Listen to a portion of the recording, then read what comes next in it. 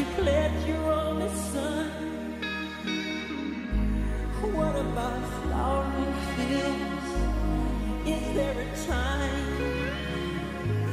What about all the dreams that you said was yours